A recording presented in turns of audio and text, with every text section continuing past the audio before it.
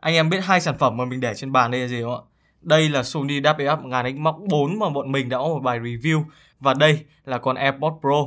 Thì hai sản phẩm này đang được gọi là kỳ phùng địch thủ của nhau trong cái uh, thời gian hiện tại khi mà cái mức giá niêm yết của chúng thì cũng loanh quanh rơi đâu đấy khoảng 6 triệu đồng. Và có rất nhiều anh em yêu cầu mình là so sánh hai cái sản phẩm này đi bởi vì hai sản phẩm này đang thực sự là quá hot.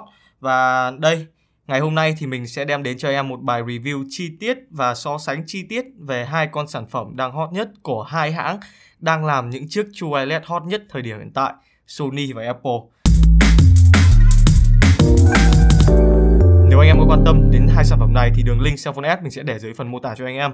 Và hiện tại Sony WF ngàn ánh Mark 4 thì đang có chương trình đặt trước và mình nghĩ là anh em nên đặt trước đi. Bởi vì ờ, hiện tại mấy anh em Việt Nam đang đặt trước và cũng đang được báo là phải delay mới có hàng.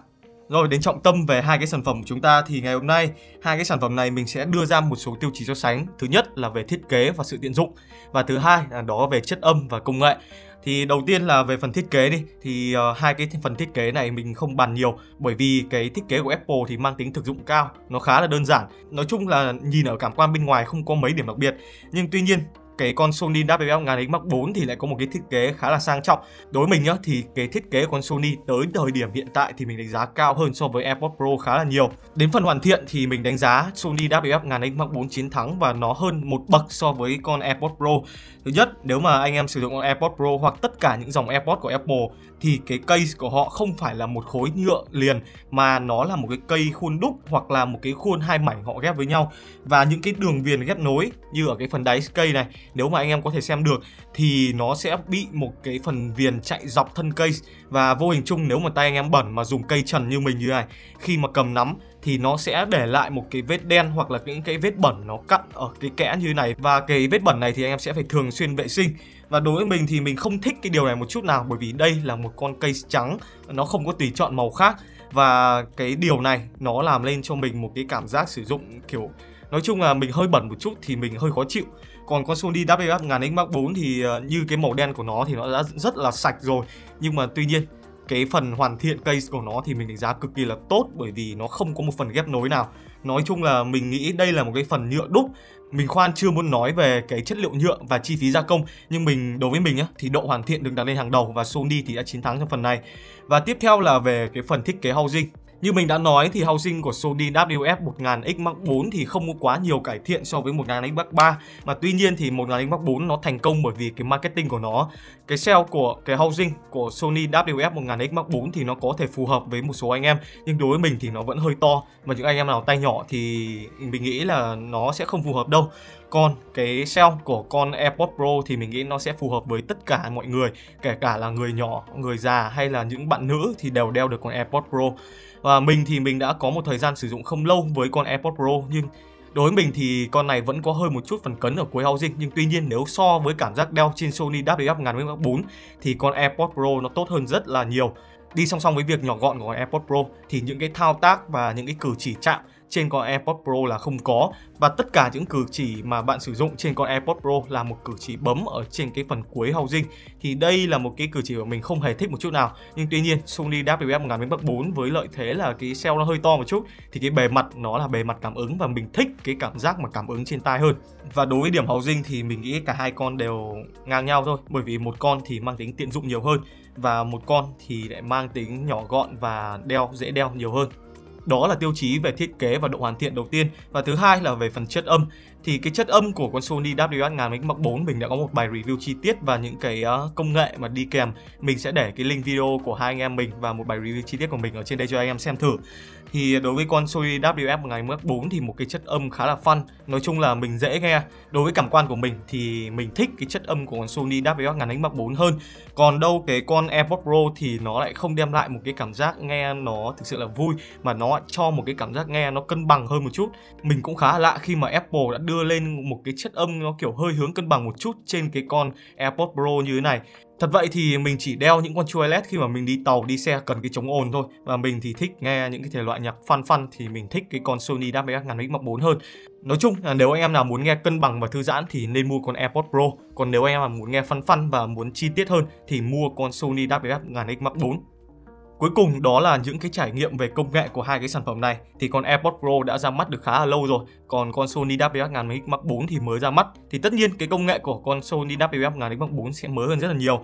Và trong cái bài chia sẻ của bọn mình với anh Nam Anh thì mình thích cái công nghệ chống ồn trên con AirPods Pro hơn. Nhưng tuy nhiên nếu mà anh em nào mà sử dụng trong cái môi trường mà cần giao tiếp nhiều người thì cái con Sony WF 1000X Mark 4 thì nó tốt hơn rất là nhiều. Bởi vì công nghệ chống ồn AI của nó có thể tự động nhận diện giọng nói mà để tắt đi cái chống ồn. Ví dụ nhé, nếu mà mình đeo con AirPods Pro mà muốn nói chuyện với anh em thì không thể được mà phải bỏ cái tai nghe ra. Nhưng tuy nhiên khi mà mình bật cái tính năng chống ồn và cái AI nhận diện tiếng nói của con người trên con Sony WF ngày Mark 4 thì mình có thể vừa nghe nhạc. Khi mà có ai đó nói chuyện với mình và mình nói chuyện với ai đó thì tự động nhạc nó sẽ giảm xuống thì mình có thể nói chuyện và giao tiếp rất là dễ dàng mà không cần tắt nhạc hay là phải bỏ cái con tai nghe này ra khỏi tai. Cái phần tiếp theo là về phần công nghệ truyền dẫn thì ờ, đây mình là một người sử dụng iPhone thì mình sử dụng con AirPods bởi vì tính tiện dụng. Nhưng nếu anh em nào cần về chất âm ấy thì con Sony WF-1000X Mark 4 ăn đứt con AirPods Pro về tất cả các phương diện. Thứ nhất là về phần aptX, thứ hai là phần phần LDAC. Thì đây là những cái công nghệ độc quyền của Sony mà truyền tải Bluetooth tốt nhất đến thời điểm hiện tại mà mình biết. Và với công nghệ này thì nhiều anh em hỏi mình là nó có thực dụng hay không. Thì đối với mình, nếu mà em sử dụng những con điện thoại Android hoặc đặc biệt là những con điện thoại tới từ Sony thì nó cực kỳ là tốt bởi vì nó cho anh em trải nghiệm cái âm thanh chất lượng cao trên một chiếc tai nghe True Wireless. Và mình đánh giá cực kỳ cao những công nghệ độc quyền của Sony. Và tới thời điểm hiện tại thì Sony vẫn làm chùm bởi những cái công nghệ như thế này. Về phần công nghệ và tính năng thì chắc chắn là con Sony WF 1000 Mark 4 về lợi thế tốt hơn và Sony thì cũng làm những cái phần công nghệ support cho những tai nghe True Wireless của họ tốt hơn. Nên là con Sony WF 1000 Mark 4 sẽ ăn đứt cái con AirPods Pro.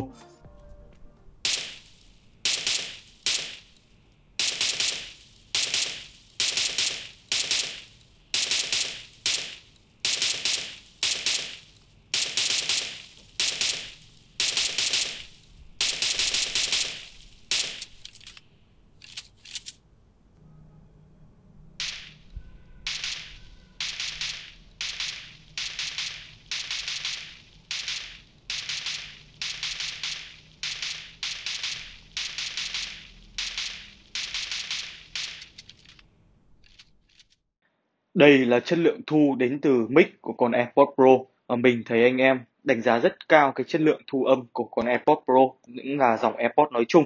Vậy thì anh em thấy cái chất lượng mic thu âm của nó như thế nào? Và lưu ý là môi trường của mình thu đang là một môi trường phòng tĩnh và có gió điều hòa cũng khá là to. Chất lượng thu đến từ con Sony WF 1000X Mark 4 và mình sẽ để hai cái đoạn thu âm song song giữa AirPods Pro và con Sony WF 1004 cho anh em tham khảo. Và đối với mình thì chất lượng thu âm của con AirPods Pro khá là vượt trội so với cái sản phẩm Sony này. Và tất cả những cái điều vừa rồi là tổng quan xoáy nhanh của mình về hai chiếc tai nghe hot nhất hiện tại là Sony WF 1000 Mark 4 và con AirPods Pro. Trong tháng 9 này thì Apple có thể ra những dòng AirPods mới, nhưng mà những con AirPods này mình nghĩ là những con AirPods thường và không phải là dòng AirPods Pro. Và hiện tại hai sản phẩm này cũng vẫn sẽ là những cái tai nghe True Wireless mà đối đầu trực tiếp với nhau. Nếu không muốn kể đến những cái tai nghe True Wireless mới hơn, ví dụ như của B&O hay là DR Wireless thì những cái sản phẩm đó nó mang cái tính gọi là thương hiệu và brand nhiều hơn và sản phẩm chủ chốt của True Wireless ở thời điểm hiện tại vẫn là con AirPods Pro và Sony WF-1000 Mark 4 về tổng quan lại video thì mình nghĩ sau khi ra mắt con WF 1000 Mark 4 thì con AirPods Pro vẫn có một chỗ đứng trong thị trường thôi. Đặc biệt là với những bạn nào mà dùng iPhone hoặc những bạn nào không quá quan tâm nhiều đến chất lượng âm thanh thì con AirPods Pro nó mang đến sự tiện dụng và cái mình gọi là khi mà mình mở cái nắp case và mình đưa lên tai thì nó đã sẵn sàng sử dụng rồi. Còn con Sony WF 1000 Mark 4 thì dành cho anh em nào mà muốn trải nghiệm chất âm tốt hơn, vọc vạch và rất là nhiều công nghệ. Và một lần nữa, nếu mà anh em có muốn mua hai cái sản phẩm này thì đường link mình sẽ để dưới phần mô tả cho anh em. Hiện tại Sony WF 1000 Mark 4 thì đang được đặt trước còn AirPods Pro thì đường link Cellphone S mình sẽ để dưới phần mô tả cho anh em biết nhé. Anh em có những thắc mắc gì thì hãy comment dưới phần bình luận mà mình sẽ cùng team giải đáp cho anh em trong những số video lần sau nhé.